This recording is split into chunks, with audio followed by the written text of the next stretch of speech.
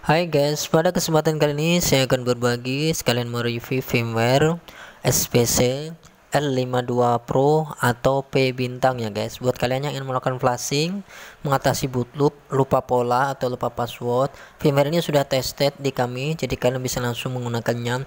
Untuk mendapatkannya kalian bisa langsung mengunjungi tautan di bagian deskripsi bawah. Semua file sudah lengkap jadi kalian bisa langsung mendownload file ini dan menggunakannya ya guys. Nah untuk mengetahui lebih lanjut kalian bisa simak terus video ini ya guys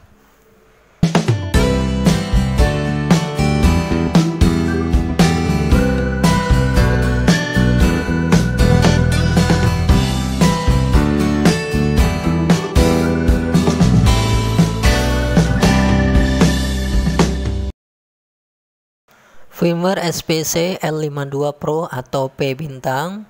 Jika kalian sudah mendownloadnya silahkan kalian kumpulkan di komputer kalian.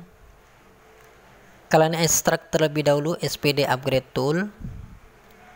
Kami katakan sekali lagi firmware ini sudah tested untuk mengatasi boot loop ya guys. Jadi kalian tidak perlu lagu menggunakan firmware ini.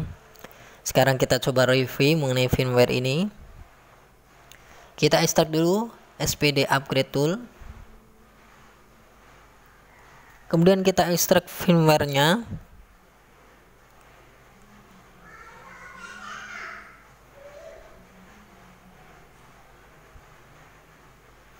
Ini adalah firmware-nya. Firmware ini mungkin kapasitasnya atau ukuran filenya sekitar 1 GB jadi tidak akan menguras kuota internet kalian ya guys kalian bisa cukup menyiapkan kuota internet sekitar 2 GB atau kalian memiliki jaringan wifi kalian bisa mendownloadnya dengan puas ya guys. Tidak perlu takut kuota internetnya habis. Oke sambil menunggu uh, ekstrak file selesai jika kalian ingin melakukan flashing kalian bisa charger terlebih dahulu device kalian dengan daya baterai sekitar 50% ya guys. Ini untuk menghindari ketika flashing nanti berhenti di jalan karena baterai habis. Karena kondisi baterai sangat mendukung untuk memperlancar uh, proses flashing ya guys. Sekali lagi kami katakan firmware ini sudah tested untuk mengatasi boot loop dan lupa pola ya guys. Jadi kalian bisa langsung menggunakan file ini untuk bisa bekerja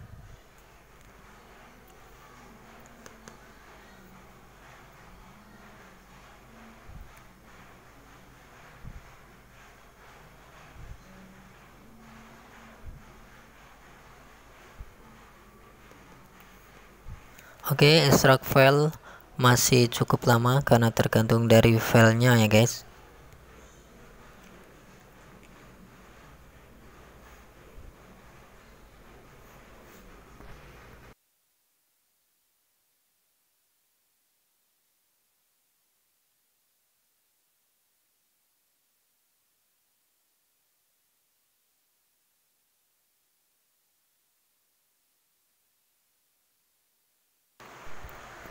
Selanjutnya kita ekstrak STI USB driver speedromnya. Jika di komputer kalian belum terinstall USB driver ini, kalian bisa install terlebih dahulu nantinya. Tapi karena kita akan mereview mengenai firmware ini, jadi kita tidak perlu menginstal terlebih dahulu. Kita ekstrak terlebih dahulu untuk melihat drivernya. Ada dua driver yang harus kalian install nantinya ya guys dan untuk kalian yang ingin uh, mengetahui tentang cara flash atau menginstal firmware mengatasi bootloop SPC L52 Pro atau P bintang kalian bisa mengikuti mengikuti tutorialnya atau melihat tutorialnya di video kami selanjutnya ya guys. Kalian bisa mendapatkannya tautnya melalui tautannya melalui bagian deskripsi bawah ya guys ini adalah drivernya yang nantinya bisa kalian install ketika ingin melakukan flashing. Untuk mengetahui mengenai cara install, kalian bisa simak video lanjutan kami di bagian tautan bagian deskripsi bawah ya guys.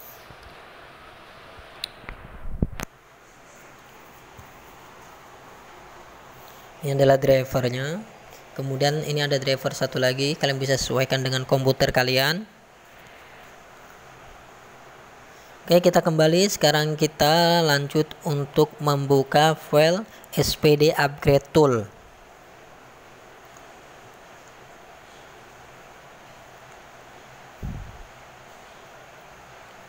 Buka foldernya. Dari hasil yang sudah diekstrak.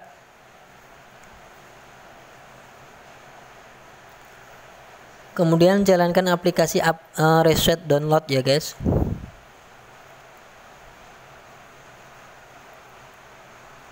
hingga terbuka di komputer kalian seperti contoh di layar seperti ini.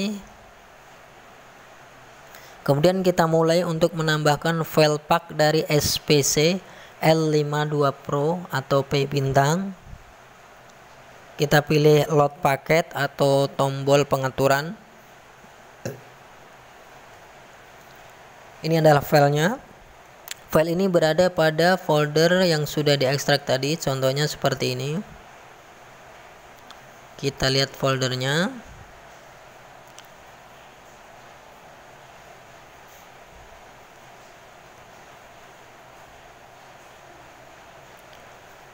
Nah, ini file akan di load ya guys. Jadi kalian bisa bersabar untuk menunggu seperti ini. Dia akan proses loading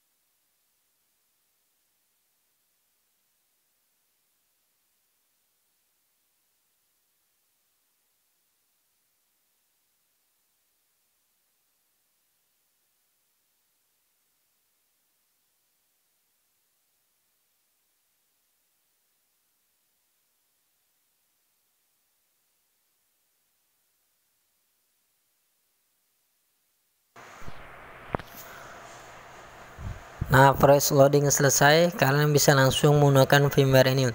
Untuk mengetahui tutorial tentang cara flash SPC L52 Pro atau bintang, kalian bisa langsung menyimak tutorial kami di video lanjutannya ya guys. Oke, mudah-mudahan review firmware ini bermanfaat ya guys.